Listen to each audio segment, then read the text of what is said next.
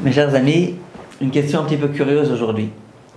Une femme a-t-elle le droit de mettre le foulard le jour de Shabbat? Vous avez bien entendu la question Une femme a-t-elle le droit de mettre un foulard le jour de Shabbat? Alors évidemment, celles qui mettent la perruque, ne comprendront pas la question. On veut mettre un foulard. Lorsqu'on met un foulard, généralement, on prend les extrémités du foulard et on fait un double nœud a-t-on le droit de faire un double nœud le jour de Shabbat Vous savez que le jour de Shabbat, l'une des interdictions, ça fait d'ailleurs l'objet de tout un chapitre dans le Shulchan Aruch, le chapitre Shin Yud Zayin 317, où il est écrit que c'est interdit de faire un nœud pendant Shabbat. Maintenant, bien évidemment, il y a des conditions. Les conditions dans les grandes lignes, parce que si on veut rentrer dans les détails, ça pourrait prendre plusieurs heures. Dans les grandes lignes, il y a deux paramètres qui entrent en jeu. Le premier paramètre, c'est est-ce que le nœud est un nœud simple ou est-ce que le nœud est ce qu'on appelle en hébreu maasé ou man Qu'il faut être vraiment un artisan expérimenté dans les nœuds pour réussir à faire ce nœud. Pour ne prendre qu'un exemple, les nœuds dont se servent les marins, ce sont des nœuds très compliqués, très spéciaux. Ça, c'est des nœuds qu'on peut appeler maasé ou man. Un nœud qui est fait par un artisan. Les nœuds ordinaires, habituels, qu'on a l'habitude de faire, ça, en général, on considère que ça s'appelle pas massé ou man. Il y a un deuxième facteur qui entre en jeu, c'est pour combien de temps on le fait ce nœud. Je fais un nœud, d'accord. C'est pas un nœud d'artisan, d'accord. J'ai le droit de le faire? Réponse non. Si c'est un nœud que je fais et que j'ai l'intention de défaire dans les 24 heures, c'est autorisé de le faire. Si je veux faire un nœud et le laisser pour toute la vie, bien que ce ne soit pas un nœud d'artisan, c'est complètement interdit.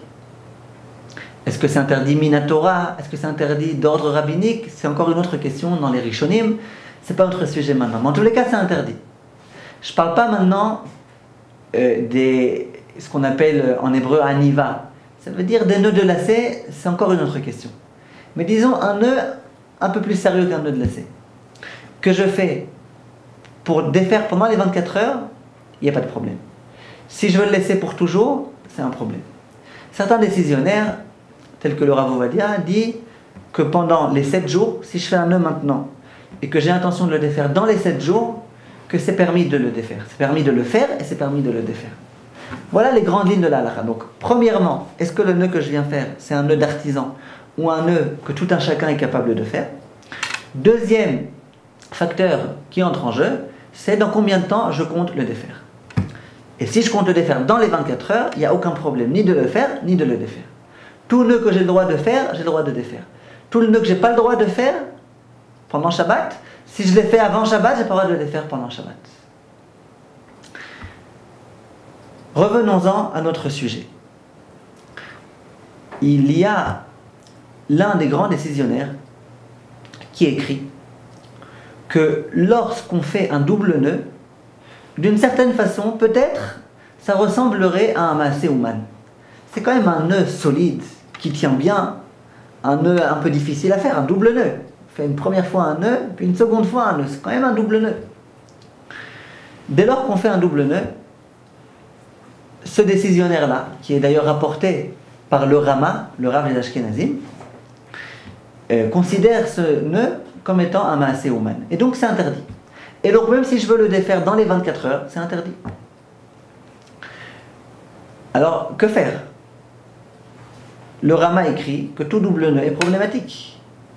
Lorsque je fais mon foulard, je serre une première fois, d'accord? Je serre une deuxième fois, ça s'appelle déjà un double nœud.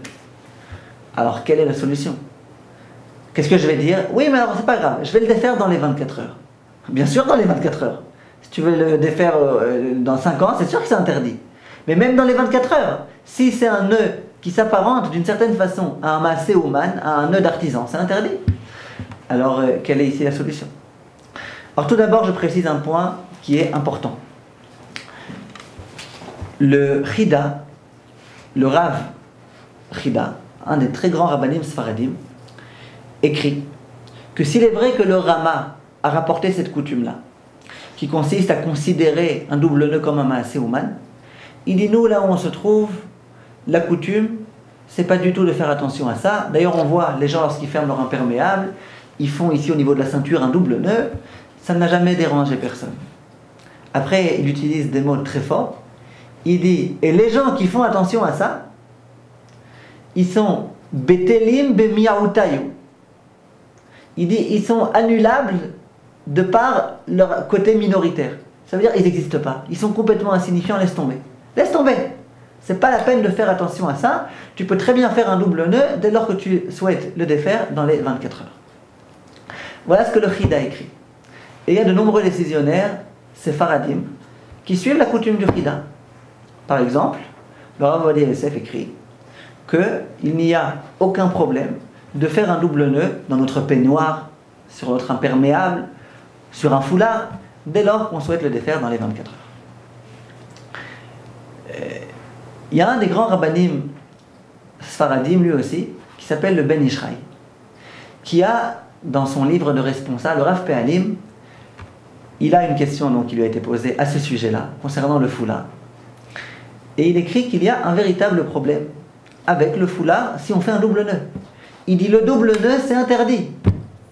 Après, il dit, et même le Khida, qu'on vient de rapporter il y a un instant, qui semblait autorisé, il dit, il n'a pas autorisé.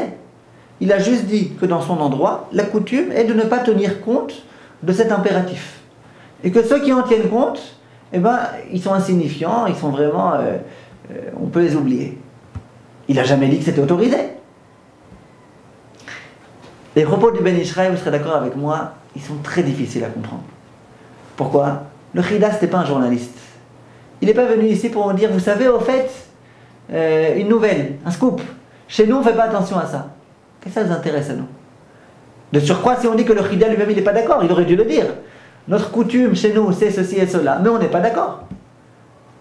Il vient, il rapporte un fait, il ne le désapprouve pas, il ne s'insurge pas, et au contraire, il emploie des termes très agressifs pour dire que ceux qui veulent se montrer rigoureux, on ne tient même pas compte d'eux. C'est juste pour rapporter euh, la coutume de son endroit. C'est très bizarre. Avouez-le. Mais en tous les cas, c'est ce que le Ben Ishraï écrit vous comprenez pourquoi certains décisionnaires n'ont pas accepté ces propos du Ben Ishraï.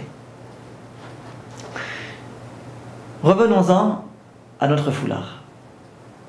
Donc, d'après les Sfaradim qui se conforment à l'opinion du Rida, on est d'accord qu'il n'y a aucun problème de mettre un foulard. C'est un double nœud. Un double nœud, on ne considère pas que c'est un massé mal.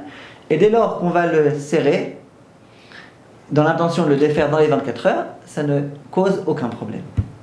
D'accord? Ça, c'est un acquis. Maintenant, pour les Ashkenazim, ou alors pour ceux qui font comme le Ben Ishraï, quelles sont les solutions qu'on peut apporter? Alors, le Ben Ishraï lui-même, lui, il apporte une solution.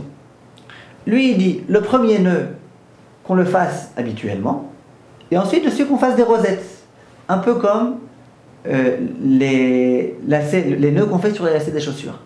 Au début, on ferme une première fois, après, on fait des rosettes. Et ça, c'est déjà beaucoup, beaucoup, beaucoup plus simple. Ça, c'est sûr que ça s'appelle pas un maasé humain. Donc, si je le fais dans l'intention de le défaire dans les 24 heures, il n'y a aucun problème. Je l'ai fait pour le défaire dans les 24 heures, donc ça s'appelle pas Kesher Shel Kayama. C'est pas un nœud durable. Deuxièmement, étant donné que c'est un nœud qui n'est pas du tout un nœud qui pourrait s'apparenter à un nœud d'artisan, il n'y a pas de problème. Donc si on fait de cette façon-là, le problème est résolu. Simplement, beaucoup de femmes n'aiment pas tellement mettre leur foulard de la sorte. Sont-elles condamnées à mettre un chapeau, ou à mettre un béret, ou à mettre la perruque? Réponse les décisionnaires se montrent assez indulgents dans ce cas-là, même les décisionnaires ashkénazim, pour plusieurs raisons. La première d'entre elles, c'est que le foulard est assez épais. Imaginez que je prenne un tout petit fil, un fil de couture par exemple, et que je fasse un double nœud. Ce double nœud-là est indéfectible. Il est noué de façon tellement forte, tellement tenace, que j'arriverai pas à le défaire. Plus le fil va être fin, plus le nœud va bien tenir. Et plus le nœud tient bien, plus il peut s'apparenter à un nœud d'artisan, d'une certaine façon. Le foulard, en général, il est assez épais.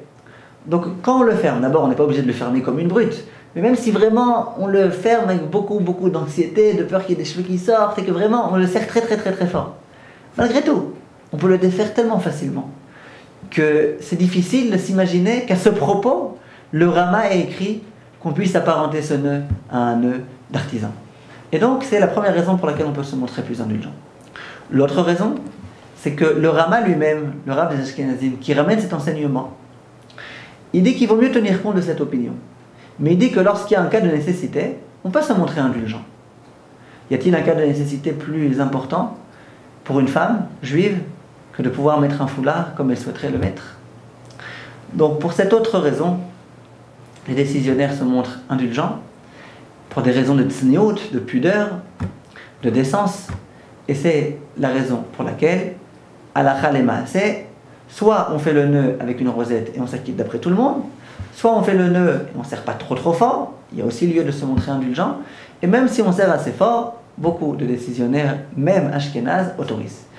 Les décisionnaires séfaradim se montrent, eux, comme je l'ai déjà expliqué, beaucoup plus indulgents, en se reposant sur l'opinion du Chida, et eux autorisent tous les doubles nœuds qu'on a l'intention de les faire dans les 24 heures. Kol et à bientôt, shalom.